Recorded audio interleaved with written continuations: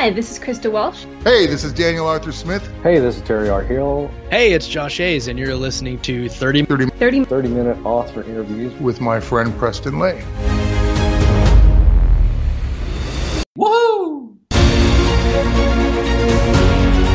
Hey everybody, welcome to this week's episode of 30 Minute Author Interviews.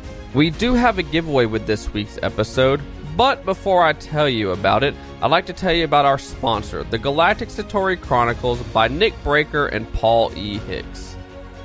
The Galactic Satori Chronicles a thirst for revenge sends one man on a deadly journey through the galaxy in this adrenaline pumping new series. Asher is a young man whose world is turned upside down when he discovers that his fiance's death has been directly caused by an imminent alien invasion. In a desire to better understand humans in order to destroy them, these aliens are projecting their consciousness into unsuspecting men and women, and in the process are learning exactly how to use humanity's own selfishness and greed as weapons against them. Fueled by emotions that the aliens will never understand, Asher bands together with a group of friends. These four MIT co-eds are more than meets the eye and go to battle with those who are intent on destroying our planet. Asher takes the fight from Earth to an alien spaceship and then to the very planet of the enemy trying to destroy them. The Galactic Satori Chronicles can be found on Amazon, where Book 1 Earth is only 99 cents and Book 2 Kron is $2.99.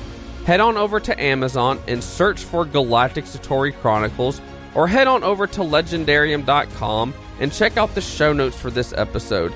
In the show notes, we will include a link where you can find both Book 1 and Book 2 on Amazon. And now for the giveaway that I was telling you about. We are joined this week by author Juliana Spink Mills, and she would like to give one person the chance to win a signed copy of her book Heartblade, the first book in the Blade Hunt Chronicles series.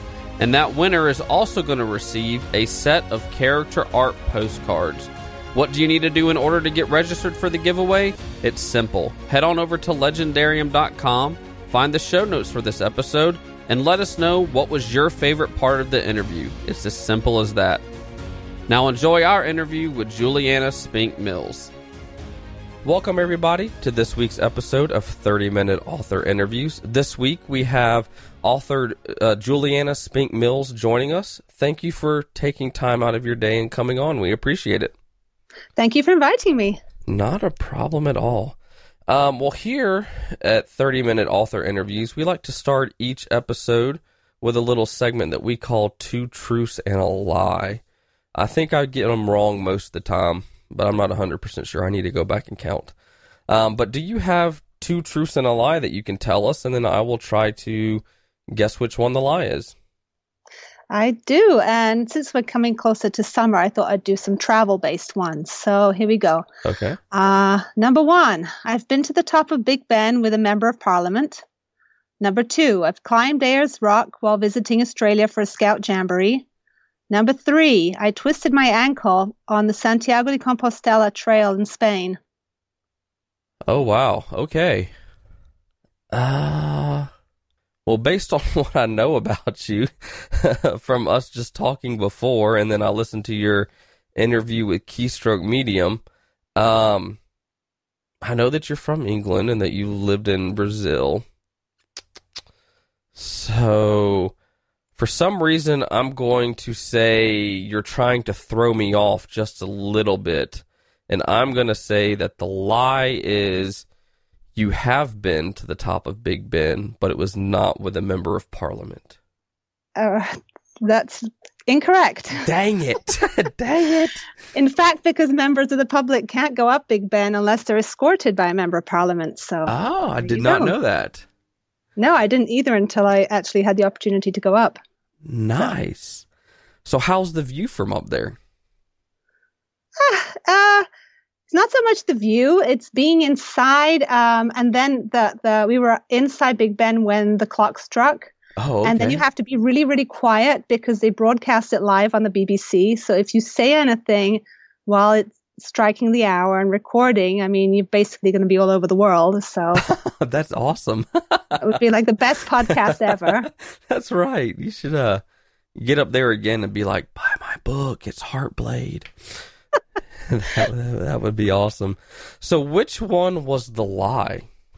The twisting the ankle on the trail. I've never done the Santiago de Compostela trail, although I've heard really great things about it, and I'd love to do it someday. Oh, okay. So, so you have been to a scout jamboree. You said in Australia. Yes. How did you end up uh, in Australia for for a jamboree?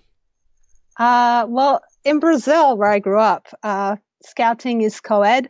So I was a Cub Scout and a Girl Scout, and um, every four years there, there's an international jamboree where scouts from all over the world get together. And I went when I was 15 with a group of scouts from Brazil.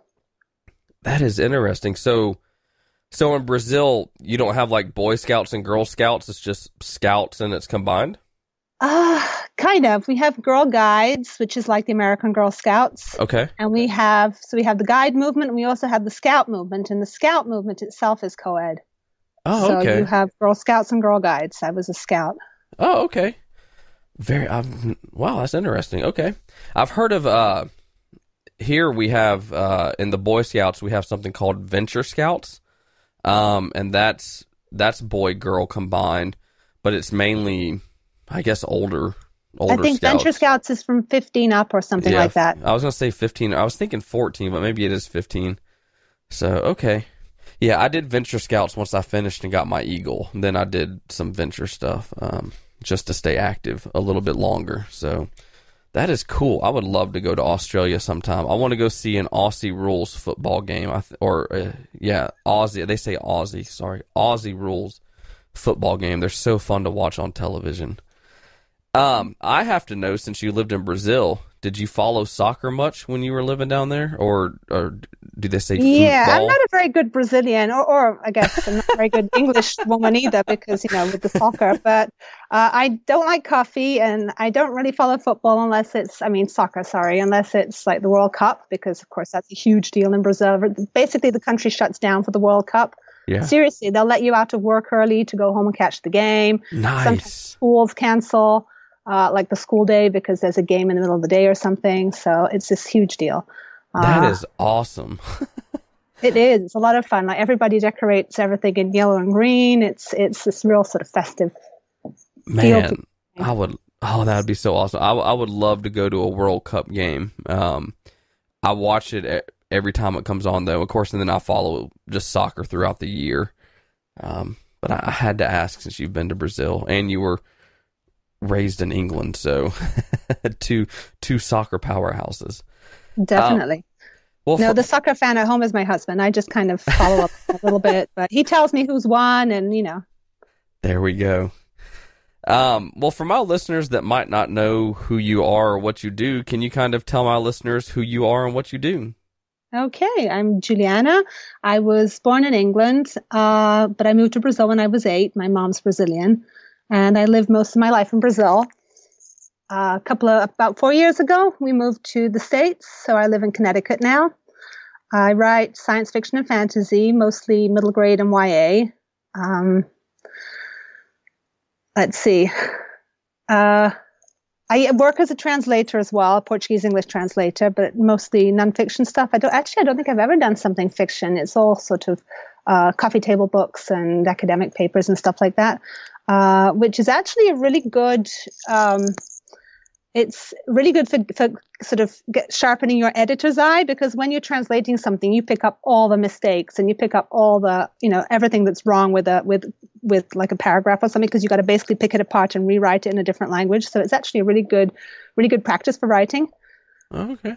Yeah, so I'm the author of Heartblade, which is the first in the Blade Hunt Chronicles series. It's a young adult urban fantasy series. This is my first published book. Uh, and book two should be out later this year sometime. Um, so you said you've only been here in the states for four years. Um, what what brought y'all here to America? Uh, my husband's job. Have you enjoyed it so far? The four years. Oh, I love it. I love it. uh, well, we lived in Sao Paulo, Brazil, which is a huge sort of, it's bigger than New York. It's, it's a huge city. And it kind of got to the point where we were we're kind of tired of the whole traffic and pollution and violence and all that. And it was just nice to get, I mean, it's a fantastic city. There's a lot of great stuff there. But it was nice to get a break from that for a bit. And I mean, we live up near Hartford. It's pretty, pretty suburban. There's a lot of green. Uh, and it's just nice. It's peaceful. Okay. Sounds good. Well, um, so, so is Heartblade, um, the first story that you've, you've put out? Cause I know that it, uh, it has listed on Amazon that you're in uh, two anthologies, an anthology called Journeys, and then another one called Aliens. Um, so is Heartblade the first thing that you you published? Uh, no, but everything kind of came out more or less together. Aliens was first. That was at the end of 2016. Uh, then Heartblade and Journeys actually published the same week. So everything's been sort of all at once. nice. Uh, yeah uh, for my readers that might not know uh, what Heartblade is about, can you give them the book blurb on what Heartblade is about? Sure. Well, Blade Hunt Chronicles, uh, basically the series um, is is about it's about a prophecy that of about four. sorry. Oh, it's fine. I'm like, oh, I can't speak anymore. I forgot how to speak. so anyway, uh, it hinges around a prophecy with four swords that have kind of mystical properties and are supposed to lead the world towards a new apocalypse or basically save the world. The the four swords kind of relate to the four horsemen of the apocalypse. Uh, so the first book, Heartblade, is about clearly the Heartblade, which is one of these four swords, and it's basically Dell's story. Dell is a half demon, and she refuses the the to accept the, the kind of destiny that she's supposed to be following with her demon pack and all that. She doesn't want that, so she basically she runs away and sets a whole bunch of things in motion and eventually she gets tangled up with the Heartblade prophecy. Okay, so so Heartblade's the name of one of the swords and you said there's four swords, so can we assume that it's going to be a four series book then? Exactly, yes. The second book will be Nightblade. Um, so you said that one's going to be out a little bit later this year. Do you have a do you have a timeline you're looking at getting that one out? Uh, probably probably around September if everything goes right. Okay. I mean, I'm working on revisions now, so I okay. mean, it's written. It's ready to almost ready to go. So, so do you hope to have the whole series done by next year, so that way you put out four books in a, a two year period? Ideally, yeah, that's what I'd like. I mean, I have book three all planned out already, and I know pretty much everything that has to happen in book four. So there we go. So that we'll, we'll uh, I guess let's talk about this series as a whole for a minute. Um, why did you decide to write this series as a young adult series instead of an adult series? Or I've always wanted to write kids books in general. I started off actually the first few things I wrote, the not published, but uh, were all middle grade. So for uh, kids maybe eight to twelve, that sort of age group. Uh, and and then I moved up to the YA sort of segment, which gives me a little bit more room to play with. Right, you get a little bit of a longer longer story to play with, and you know you can sort of deepen certain certain types of themes and darken it a little bit. Uh, but basically, this is what I've always wanted to write. Okay. Um, so, so have you been a reader of middle grade and, and young adult stories for most of your life then?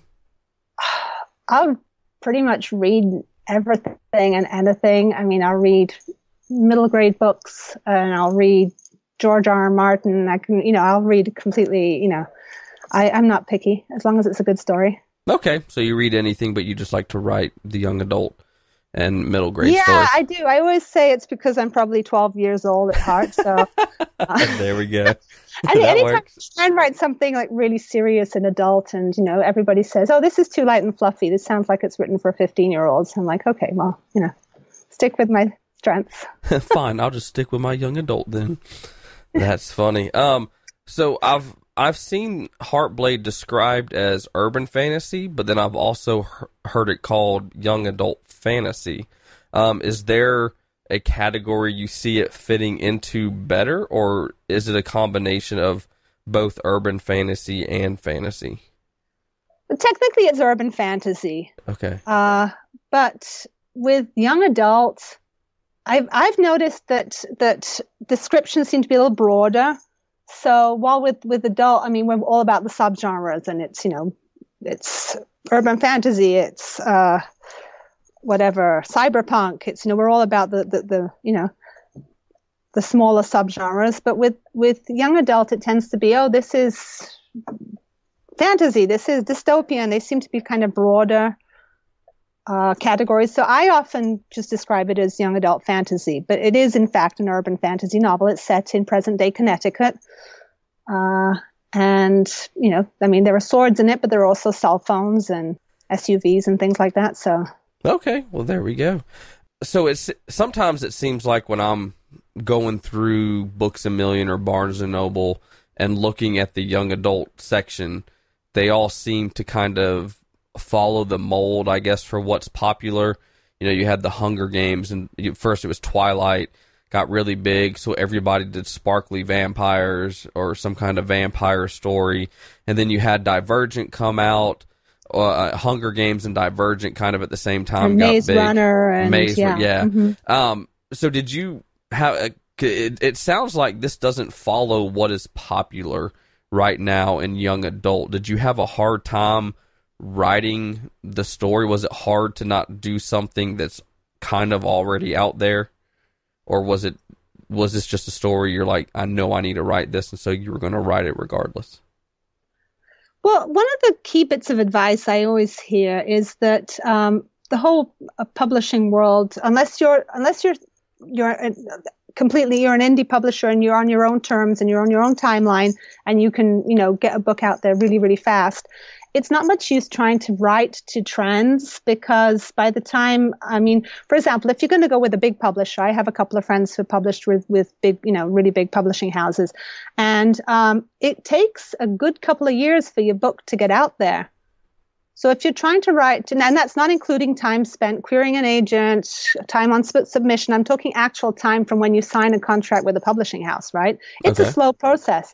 So what I always hear is don't write to trends because, you know, by the time you, you know, you get something published, it's, it might be long gone or, you know, just write what seems to be in, what you're interested in, basically. Okay. And I don't know, the story was kind of sitting there in my head and I figured, well, let's go with it and see what happens. Start your own trend. Um, so th- this book is actually put out by Woodbridge Press, which is it's a small indie press, correct? Correct. How did you um how did they find out about your story or did you submit it to them or what what was that whole process of getting involved with a small indie press? Well, uh, so I wrote Heartblade and I sent it out to a few friends who do beta reading for me. You know, we sort of beta read each other's books, which, uh, for anybody who doesn't know what beta reading is, it's basically you give somebody your your manuscript and they read through it and critique it and you know and we'll do exchanges and I'll read theirs and so forth. So anyway, it had been beta read by a few people. I had tried querying it and I got feedback from a couple of agents who said, "Oh no, you know, vampires and angels and demons and stuff. Nobody wants that anymore. We're not interested." So I was like, "Oh, okay. I kind of like my story, but never mind." So I kind of stuck it in a virtual drawer and went off to write other stuff the way you do and just sort of left it there and figured, you know, well, one day I'll figure out what to do with it because I still like the plot. I like the story. Uh, and then uh, Nathan Heisted, who owns Woodbridge Press, happened to have been one of my beta readers. Oh, nice. And when he decided to open Woodbridge, he got in touch with me and said, "Listen, I'm ready to to publish a novel, and I'd really like it to be Heartblade. What have you still got Heartblade? Have you sold it? What have you done with it?" And I said, "No, it's still here. If you're interested in having another look." So, yeah. I guess the story just stuck with him, and you know, he Yeah, really liked it. Yeah, there you go. Um, do you have um an excerpt from either Heartblade or or book two or whatever that that you can read to uh, our listeners so they can kind of see what your series sounds like? Okay, I do. Yes, not from book two yet because Okay. that's still being revised, and you know I don't want to read anything that is might train might still you know change. Okay. But I'm going to read a little piece from the second chapter of Heartblade, which is where I introduce Ash. Ash is 17. He's a sentinel, which are uh, people descended from angels, basically. Okay. And this is a scene where he's sort of on a ride along with with some of the older sentinels because he's in training to he's an apprentice. He's in training, basically. So, Okay. um, this is a scene where they're basically they're hunting down a rogue vampire. The SUV rocketed along the dirt track, right on the motorbike's trail. The surrounding trees were a dark blur in the night, lit only by their headlights. Ash realized he was holding his breath and let it out in one big exhale. Becca heard and chuckled. Prentices, she said, shaking her head. So darn cute. Hey, don't worry, kid. We're in good hands. Your old man's the best in the business. You don't get to be scion of the New England chapter of Sentinels for nothing. Ash would have protested, said he wasn't worried, but it would have been a lie. Becca would have known. They all would. You couldn't lie to a sentinel. Instead, he gritted his teeth and tugged at his bulletproof vest. The borrowed body armor he wore felt too tight across his shoulders. His whole chest was too tight. Becca drew closer to the stuttering motorbike, still trailing acrid clouds of smoke. The trees opened suddenly into a vista of dark fields, and Becca accelerated, throwing the car off the road. They ripped through the tall grass, them slashing viciously at the sides of the SUV. There was a sudden impression of approaching buildings, and then the side of the SUV hit the bike hard. The bike went down in a tumbling crash, the engine's growl cutting out abruptly as the vampire fell head over heels to land on his back. The SUV skidded to a stop, high beams raking the, raking the black. The vampire scrambled to his feet and took off, Deacon in pursuit with his sword over his shoulder as Ash leaned over his cousin to watch. Becca snagged her hunting rifle from the back of the car and turned to Ash and Jordan, still inside. Well, you here to learn or what? So yeah, that's a little little taster. I do like my action scenes. It's one of my favorite things to write. That's what, that's where I was going to kind of go next with this. So when I heard uh, your interview on Keystroke uh, Medium, there was uh, y'all talked about something during the interview that I wanted to touch on for my listeners that maybe haven't heard that interview. Um, we found out in that interview that you ended up taking long sword lessons. Um, can you tell us the story on why you even started looking into taking long sword lessons and are you still doing it today? Well, I have a lot of sword fighting scenes in Heartblade and the Blade Hunt Chronicles in general, obviously, Blade Hunt, right? Um, and I, I mean, you, you watch things on YouTube and you get a good feel for things, but I found out that there's a place just 25 minutes from home that actually has longsword lessons. So I figured, you know, I'd go and do one lesson and see what it actually looked like up close and personal. Uh, and it was fabulous fun. And I'm still there over a year later. Uh, in fact, my instructor, Christopher Valley, um, was one of the people who revised scenes for me for Heartblade. He went through all my fight scenes for me, which was wonderful. So it's kind of turned into a collaboration in a way. That is awesome. Now you got your instructor into writing. Oh, well, there you go. There you go. And I mean, a couple of the other instructors, they kind of acted out a few of the steps I wanted to include in the book so I could check exactly how the movements worked. And so, yeah. Uh, but most of all, it's just, just so much fun. It really is. It's, you know, it's worth trying. If, if, if you have anything like that near you, it's worth trying just one lesson for the heck of it because it's really fun. Um, do you only do longsword or do you do other uh, weapons as well at the class? We, I mean, we have a little bit of other things. We have a little bit of, of rondel dagger, which is the kind of dagger knights would have used in medieval times. We do a little bit of, of poleaxe and a bit of uh, medieval wrestling, but the bulk of it is is longsword. Uh, what makes medieval wrestling different from, uh, I guess, the wrestling they they do today? Uh, uh, I don't think I know how to answer that. I imagine the movements are all very different because they're designed for people wearing armor, Okay. Oh, okay. but I really don't know how to answer that. Um, so is is longsword one of your favorite weapons that you have learned to use in that class, or is there a different weapon now that you prefer, uh, or that you like more? No, I like I like longsword. I I definitely it's you know it's, uh, something that I enjoy working with. Uh, the dagger is a little too up close and personal for me, and although I do in book two, I do have a little bit of poleaxe, uh, which I think I'm going to bring into book three a lot more. So because that's that's a quite an interesting weapon. You can do a lot with the with the poleaxe, uh, you know, rather than you can. I mean, you can thrust, you can hook, you can, you can do all sorts of interesting moves. Um, do you watch the show Forged by Fire on History Channel? No, I don't. Is that a good one? Oh, you you might like it. it uh, the competition is it starts out with four people, and um, normally the first round they're, all competing for I think it's ten thousand dollars. Um, and the first round they have to make. Uh, normally it's it's a knife of their choice. Um, and you know eh, you know your knife has to be so long without the tang, and then with the tang, which is the handle for those that don't know. Um, you know your knife can only be so long. Um, and then so the first round shaping your knife and get it all ready. This and then they eliminate somebody. The second round is finishing the knife and putting a handle on it.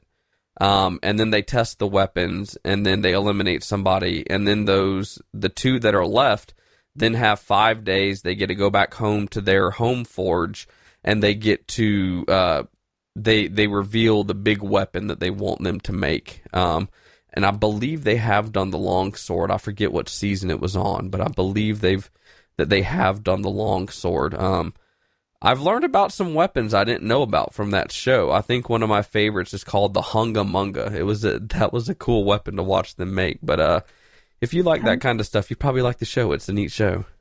Yeah, I'm going to look it up definitely. But def- I mean, I think it's it's if you know if you're writing books that have weapons in it, it's it's probably a good idea to try and and and at least see in person what these things look like. Because, for example, uh, I had all these sword scenes, and when I actually picked up a, a long sword, I realized.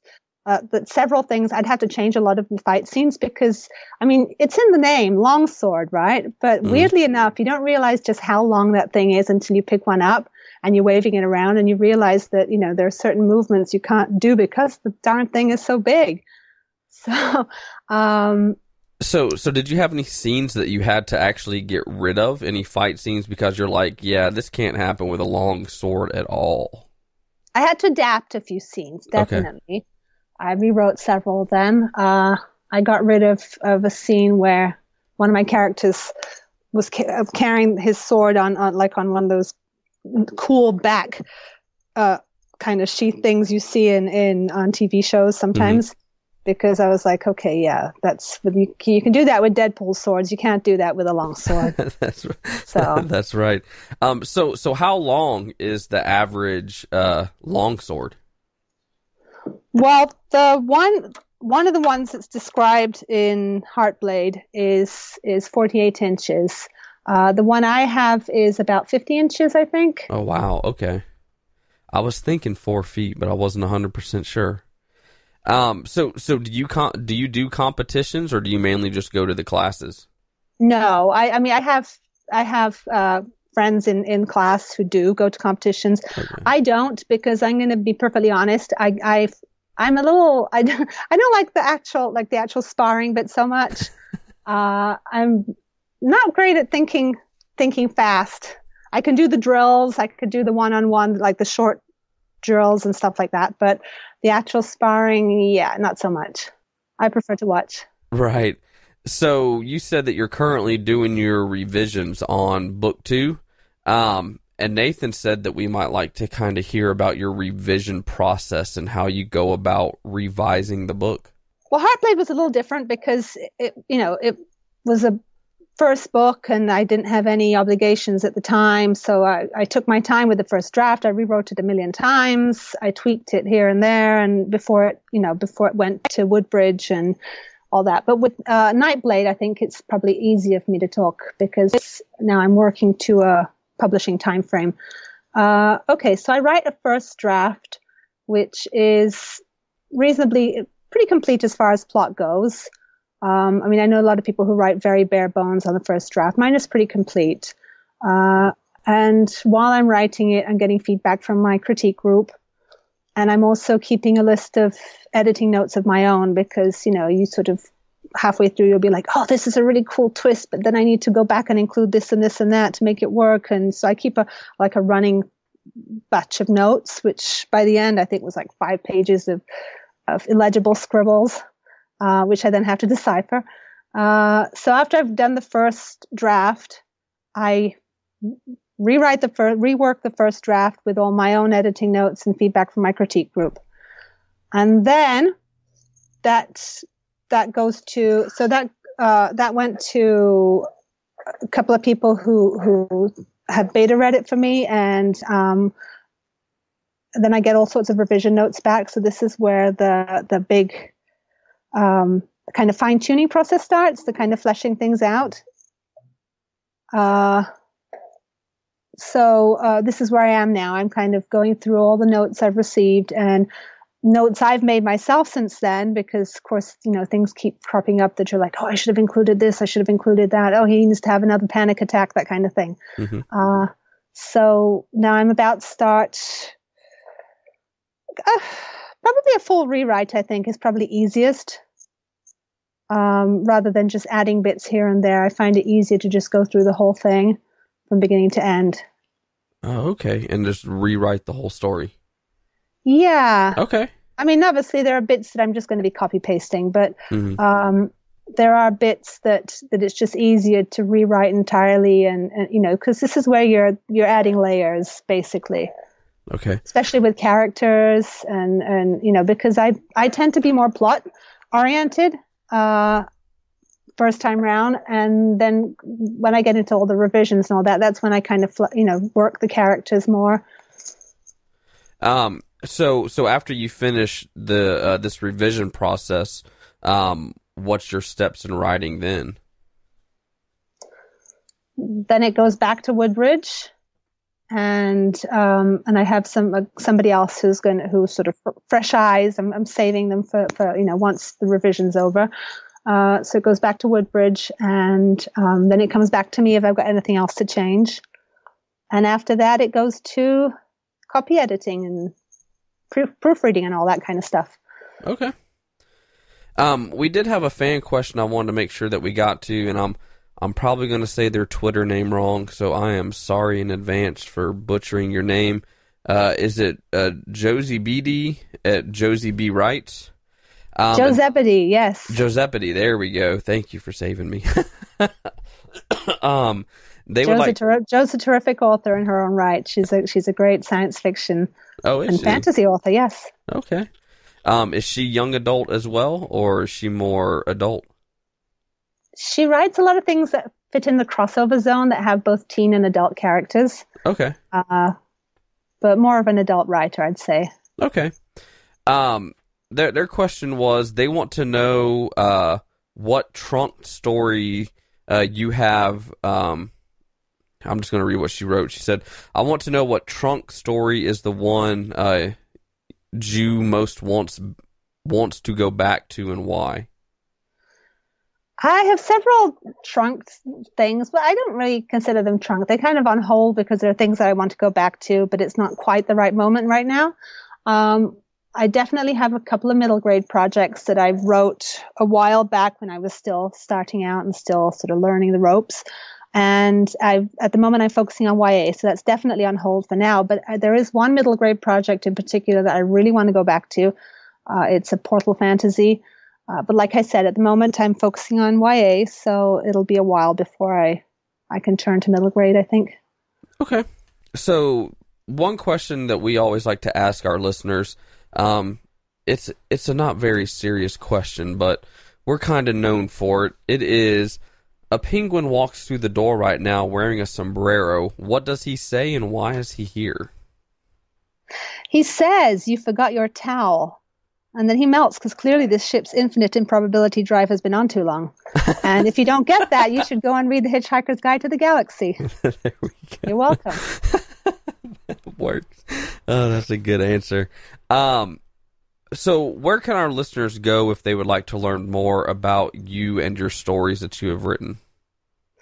I have a I have a blog which I try to update reasonably regularly, and it's got all sorts of information about Heart Blade and the Blade Hunt Chronicles there, uh, as well as a quiz you can take if you're interested in that kind of thing to tell you if you're an angel or a demon or a vampire and all sorts of things. Oh, that's uh, awesome. And yeah, I, I I found that that there's this this quizzer app thing where you can make your own your own quizzes. So when Heart Blade launched, I thought it'd be fun to have like a quiz I could share around. So actually, I wrote that one myself. It was a lot of fun. Oh, nice! I recommend doing that kind of. It's it's a lot of fun if you want to go on Quizzer. They have all the all the setup, and you just create your own thing basically. That is Uh, awesome. But anyway, uh, you can find all that on my blog. It's jspinkmills.com. and that's uh, just uh that's just the letter J J. Yep. J J. Juliana Spink Mills. Yep. jspinkmills.com. Well, I'm gonna have to go and take that quiz because I want to know what I am. So once we get done, I'm gonna go find out what I am. Um, before we leave, do you have any advice, whether it be for writing or for life, that you would like to share with the listeners? Advice, definitely for both writing and life. I think don't give up. If there's something that you, you want to do that you're passionate about, don't give up because sometimes things can take years to happen and and you just have to stick with it and you know not let anything put you off or anybody put you off. There we go. That is great advice. Well, thank you for taking time out of your day and coming on this uh, this week's episode of 30 Minute Author Interviews. We appreciate it. Thank you very much for having me. This has been a lot of fun. It has been. That's all the time that we have for this week's episode of 30 Minute Author Interviews. Thank you so much for tuning in, and we hope you tune in next Wednesday and every Wednesday for another great author interview. And head on over to the show notes at leighgendarium.com. In the show notes, you're going to find the giveaway where you can win a signed copy of Heart Blade, the first book in Juliana's Blade Hunt Chronicles, and you'll also win a set of character art postcards. Also in the show notes, you're going to find the link to our sponsor, the Galactic Satori Chronicles. Check them out and let them know that you heard about them right here on 30 Minute Author Interviews. And don't miss another episode of 30 Minute Author Interviews. You can subscribe to the podcast on iTunes, Google Play, and also on YouTube. Never miss another episode. I would also like to thank a few of our Patreon supporters. I would like to thank Nick Breaker, Diane S. Loftus, Third Scribe, and Maggie Stewart Grant. They're supporting 30 minute author interviews through Patreon. They're also receiving the Patreon only podcast 10 Questions With. Visit patreon.com slash leighgendarium and find out how you can support 30 minute author interviews as well. And until next time, guys, remember to stay legendary.